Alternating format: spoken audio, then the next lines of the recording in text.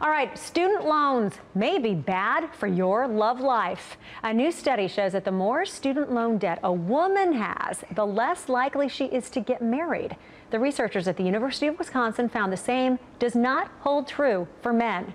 Financial professional Cathy DeWitt Dunn from DeWitt and Dunn here with more on this study and other financial factors you should consider in a relationship. This sounds so antiquated to me. I know, Cathy. doesn't it? It's just amazing. But I mean, uh, so what's the deal? Why do you think student loans, the debt, keeps a woman from getting married? Well, I think one of the things is is that typically a man does not want to marry a woman that has a lot of debt, and then also a woman isn't interested in getting married until she's reduced her debt. She's looking to empower herself. So it's a very interesting statistic. So the woman doesn't care if the guy's got debt, though. I know, it seems a little unfair, doesn't it?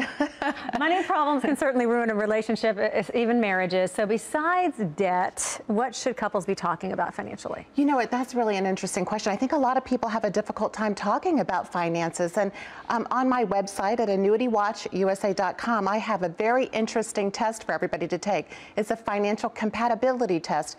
And it kind of shows them what they should be doing and how they should be doing things differently and talking about the you know, the debt word. No one wants to talk about that at all. So, you know, you really need to take a look at your debt and then take a look at the B word, budget. And people need to sit down, get a budget together, and be honest about it. Because and it can change through the course of the marriage. I mean, I've gotten a big old fight after 22 years, however long I've been married. Yesterday. I know, and you know, one of the things too at Self.com, I couldn't believe the statistic.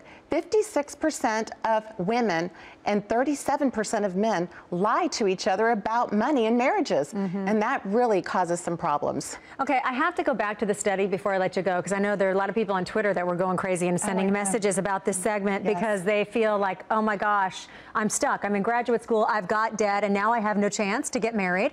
What advice do you have? I really think you need to set a budget, you need to live within it, and you need to pay yourself. You need to also take a look at putting money in savings. I know that's really difficult, but you need to live within your means and you need to be true to yourself and honest. And then you also need to look for love. And you know what? You just need to take a look. Studies don't mean everything, and, and everybody will find somebody.